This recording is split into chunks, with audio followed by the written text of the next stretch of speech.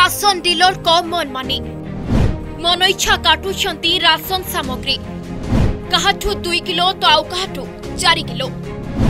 ଲୋକଙ୍କ ଚାଉଳ ଡାଲି କାଟି ମାଲେମାଲ ଡିଲର ଚାଉଳ ଡାଲି ପ୍ରାପ୍ୟଠାରୁ କମ୍ ପରିମାଣର ପାଉଛନ୍ତି ଗ୍ରାହକ ପ୍ରତିବାଦ କଲେ ବି ଶୁଣୁନାହାନ୍ତି ଡିଲର ବେଶୀ କହିଲେ ଡିଲର ରାସନ କାର୍ଡ କାଟିଥିବାର ଧମକ ଦେଉଥିବାର ଅଭିଯୋଗ ହୋଇଛି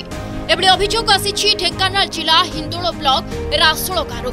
ଏ ହେଉଛନ୍ତି पुष्पलता गोछात चाउल चाउलो नेबा पई आसीथिले ताको हिसाब रे 60 केजी चाउलो मात्र डिलर ताकू 57 केजी चाउलो देइछथि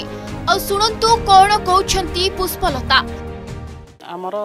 3 महिना 60 किलो मिलियो 57 देइजन्दि अ डिलर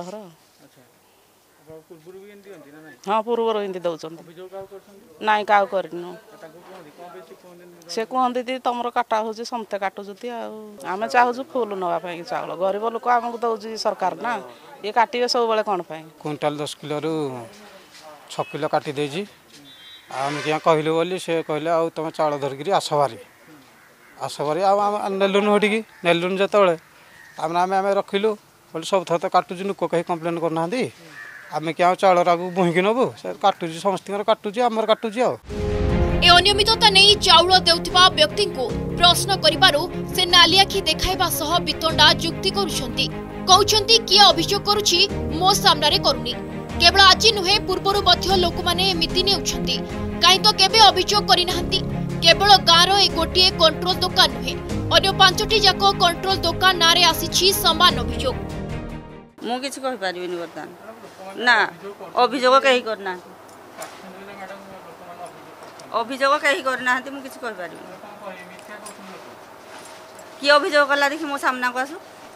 কি অভিযোগ করছে মোর সামনাকু আসু সবুবেলে সবু মাসের সেমিতি নৌচন্তি না নাই সবু মাসের সেমিতি সমস্ত যেমিতি সমস্ত নৌচন্তি সেমিতি নৌচন্তি মোর আজ্ঞা হচ্ছে অভিযোগ বলে চাউল যে দৌঁচন্তি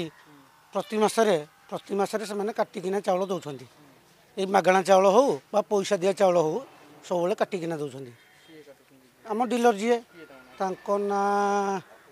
ଅଖୁଜି ସେ କହିଲେ ଇଆଡ଼ୁ ଚାଉଳ ତ ସର୍ଟେଜ୍ ହେଉଛି ଆମେ କେଉଁଠୁ ଦେବୁ ବସ୍ତାରୁ ଯେଉଁ ଆମେ ଆଣୁଛୁ ବସ୍ତାରୁ ଚାଉଳ କମୁଛି ଏଣୁ ଆମେ ସେଇ ଯୋଗୁଁ ଲୋକଙ୍କଠୁ କାଟିକି ଦେଉଛୁ ଗରିବ ନିରୀହ ଲୋକଙ୍କ ଚାଉଳ କାଟି ମାଲେମାଲ ହେଉଛନ୍ତି ଡିଲର ଆଉ କମ୍ ଓଜନର ସାମଗ୍ରୀ ନେଇ ଆସୁଛନ୍ତି ଗ୍ରାହକ